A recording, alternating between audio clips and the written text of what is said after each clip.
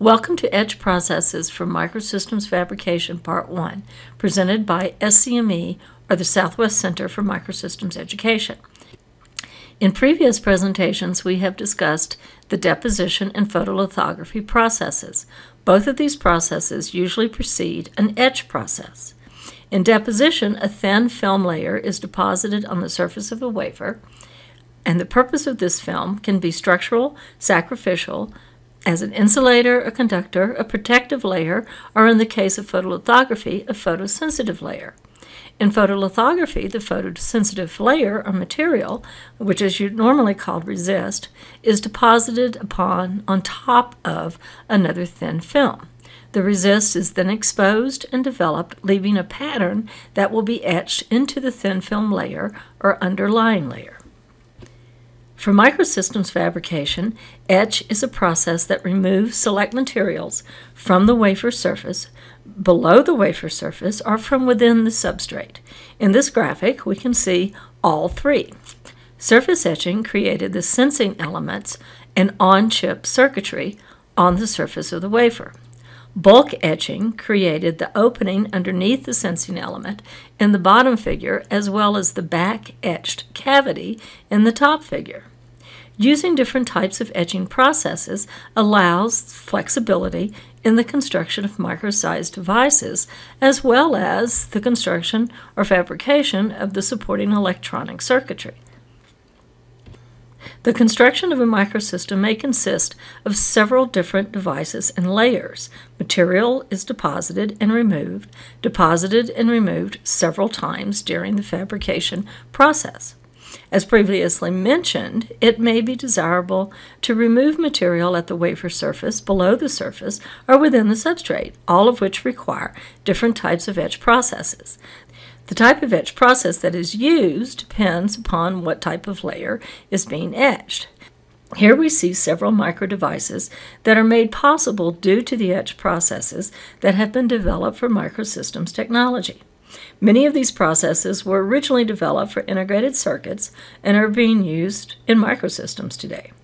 However, some unique processes have been developed to create objects such as the neuroprobe seen here in the scanning electron, electron microscope image.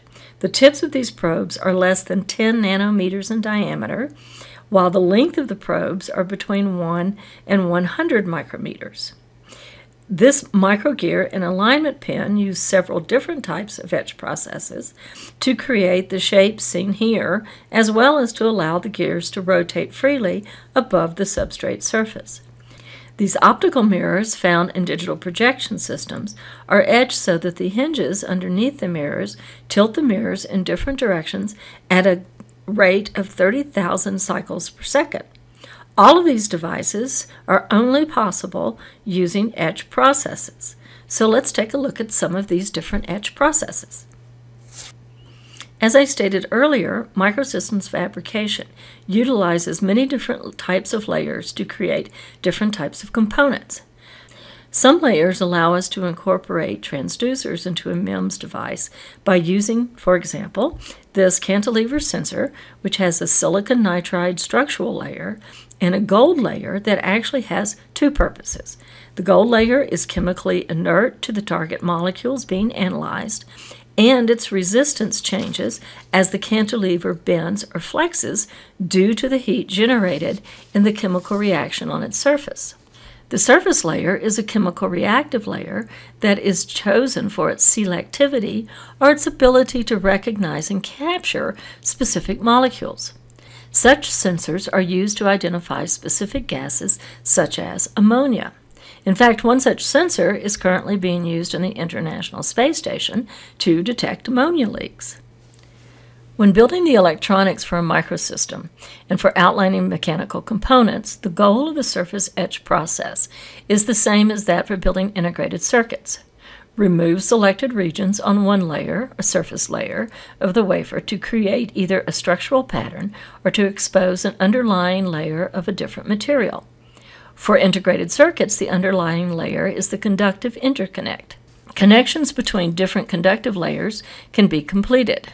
For mechanical components, the surface, surface layer is patterned with specific shapes for structural components such as cantilevers, mirrors, or probes. These mechanical elements can be conductive, as in the case of electrodes or cantilevers. The exposed underlying layer can also allow one to anchor a mechanical structure to it. For example, these gears and alignment pin were fabricated using the Summit 5 process developed at Sandia National Laboratories. The gears and pin were all fabricated on the surface of a wafer. You can see different layers in this scanning electron in the scanning electron microscope image.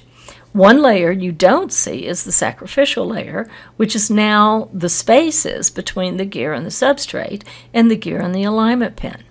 The alignment pin is anchored to the substrate in a different step of the process that was used to form the pin itself. Each of these layers required a deposition, photolithography, and an etch process. The bulk etch process is used to remove materials from underneath a layer or from the backside of a wafer. This graphic illustrates a movable mass that is etched from within the substrate. The mass is suspended over a layer at the bottom of the substrate by springs that have been surface etched from silicon nitride. This mass is part of an accelerometer. When the mass moves up and down due to movement, this movement is sensed by the electronics built into the device.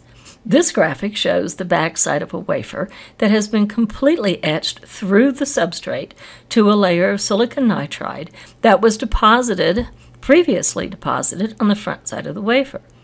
The hole in the backside of the wafer is the reference chamber for a micropressure sensor. You can see the electronic sensing circuit on the front side of the wafer by looking through the, the etched hole. A combination of these processes, surface and bulk, allow for the construction of a variety of electronic and mechanical devices on the same microchip.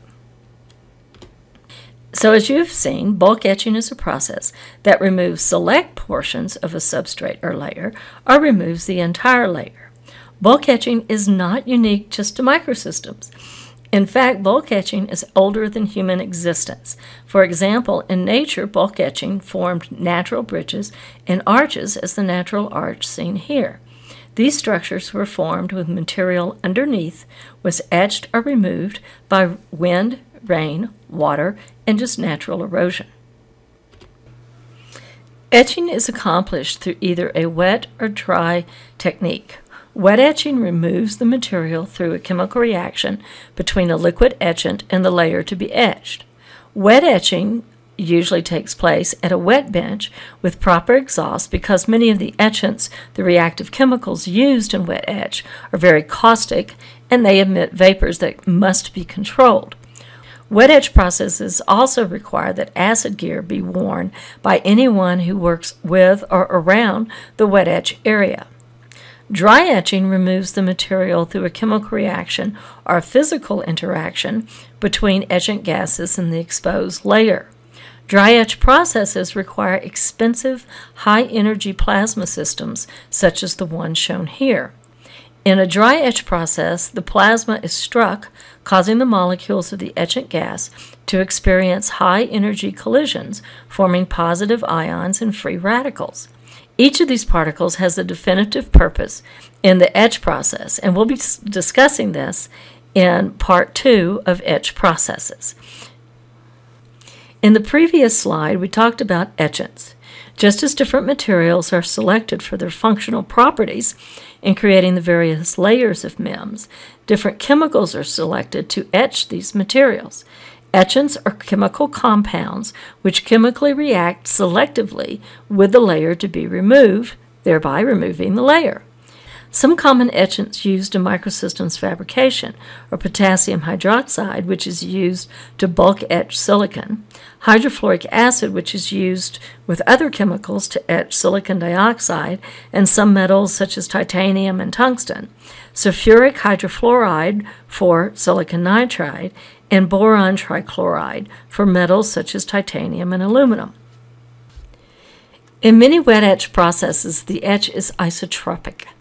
An isotropic process is a chemical process that etches the selective layer in all directions. This image shows the silicon nitride layer being etched vertically as well as horizontally and diagonally. In other words, the etchant is etching any of the silicon nitride that it comes in contact with. But notice that it is not etching the masking layer. And once the silicon nitride is removed down to the substrate, the etchant will not etch the substrate. At this point, the etch could be complete and the wafer removed from the liquid etchant and rinsed to stop the etch. Because this etch does etch in all directions, you do get undercutting or removal of the silicon nitride from under the mask. In many cases, this is expected and acceptable. However, there are some cases where this is not acceptable, therefore, another type of etch process, such as a dry etch process, would be required. In microsystems, the wet etch process is extremely handy in removing sacrificial layers, as we see here. Think about what would happen if the wafer were left in the liquid etchant, even after the substrate was reached. At this point, the etchant would continue to etch sideways underneath the masking layer and eventually remove the entire layer of silicon nitride without etching the mask or the substrate. This characteristic makes it very effective at removing a bulk of material such as a sacrificial layer or a masking layer. Wet etch is performed in an immersion tank containing the etchant solution the wafers that are going to be etched are placed in a wafer carrier known as a boat, and this carrier is then lowered into the tank containing the heated etchant solution. The wafers are left in the solution for a calculated amount of time. Two critical parameters monitored during the wet etch are the concentration of the solution and its temperature. Both directly affect the etch rate. An increase in either parameter increases the etch rate. For example, a buffered oxide etch is a solution of hydrofluoric acid, or HF, and hydrogen peroxide. An increase in the ratio of HF to peroxide would increase the rate at which the oxide were etched. An increase in the temperature of this solution would also increase the etch rate. Once the etch time expires, the wafer carrier is lifted out of the tank and transferred to another tank where it is rinsed with ultra clean deionized water. This graphic shows a quick dump rinse, or QDR, in its rinse cycle. A QDR sprays the boat with deionized water while simultaneously filling the tank. The water is then dumped and the cycle repeats for several more rinse dump cycles. After the QDR and before the wafers can be processed further, they must be thoroughly dried. The presence of water, even in minuscule amounts, will interfere with future processing.